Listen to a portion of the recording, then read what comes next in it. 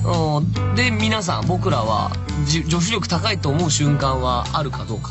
料理得意な人！いない、あれ？そうなんですか？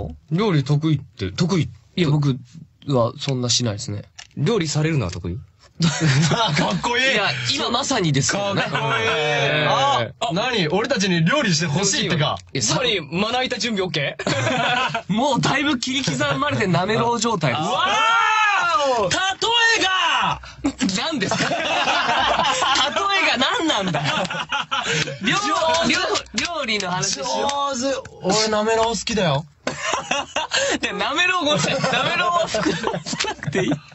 料、なんか、だって、あの、カツオの叩きを超えたわけだよ。ね。だいぶそこに味を加えちゃってるんだよ。ああの、いいで、俺のために時間割かなくていいです。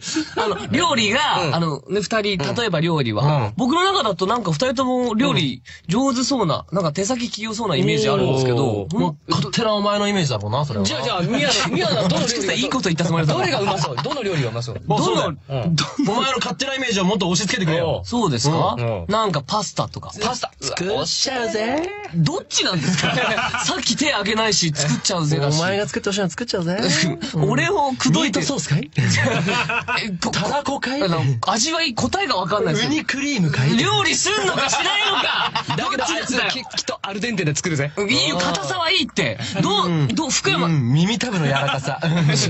福山さんどうなんですかもうそろそろ全部さばかないよ。あ、そう。え俺は何だと思う？得意料理。そうだな何に見える？得意料理。うーん、パエリア。いパエリア？それは何？情熱のスパニッシュってこと？や、でもなんか、気持ち的には合ってるかもね。ちょっとね、そういう、まあ、服装もそういうテンションの時あるし、うんなんかそういう、なるほど。エキゾチックな、情熱的な。とかもうまいのかなってあなんで切れ気味なんですか？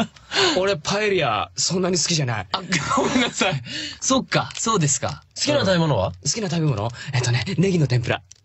ええネギ大好き。マジか。マジネギ好き？ネギの天ぷら？ネギの天ぷら超うめえ。ネギだけの天ぷらったことないかもしれない。あの、太い、あの、九条ネギとかみたいな太いのあるじゃん。あれをさ、天ぷらにして、あの、塩で食うの超うめえ。うわ、うまそううまいね。いいのかな？これって、この話で。カジ君の好きな食べ物？はな、なしです。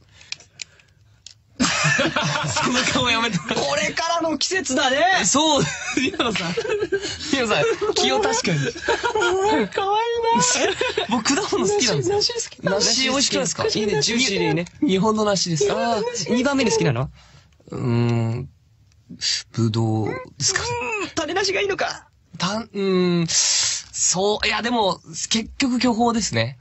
巨峰か。あの、いいです。好きな食べ物は。あの、女子力の話なんで、料理、あ、もう、いいか。いいそうです、このあで話。もカジ君の女子力を感じたよ。え？え？フルーツ好きみたい。